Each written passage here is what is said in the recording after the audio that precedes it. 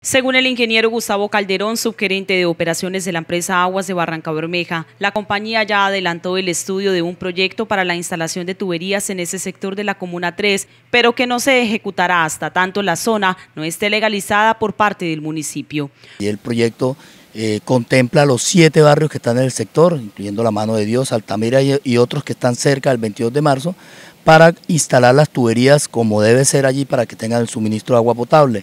hemos tenido problemas en lo que tiene que ver con la eh, aprobación del proyecto en planeación municipal, debido a que pues estos siete barrios están en zona de alto riesgo y pues necesitamos hacer, eh, definir el uso del suelo allí para poder hacer cualquier inversión pública en el sector. Con respecto a la instalación de tuberías artesanales por parte de la comunidad del sector, esto dijo Calderón. Y que nosotros en, los eventos de taponamientos o rompimiento de esas tuberías artesanales, que son unas mangueras, nosotros vamos y hacemos las reparaciones respectivas. Eh, también le solicitamos a la comunidad del sector que en caso de cualquier daño en estas tuberías artesanales, por favor nos informen para nosotros acudir en el tiempo inmediato y hacer las reparaciones respectivas para que no vayan a quedar sin el servicio de agua potable. La empresa confirmó que en la zona sí se cobra el servicio de consumo de este vital líquido.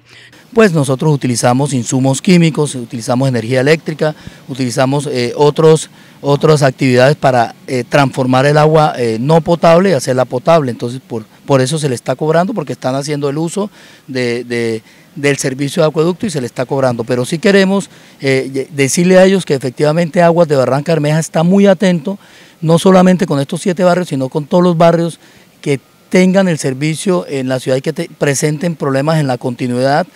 con el fin de hacer las inversiones necesarias para que puedan eh, tener un buen servicio. No descartó el funcionario la conformación de una mesa entre autoridades municipales y la comunidad para solventar la problemática del suministro de agua potable en el 22 de marzo y otros sectores aledaños que presentan el mismo panorama.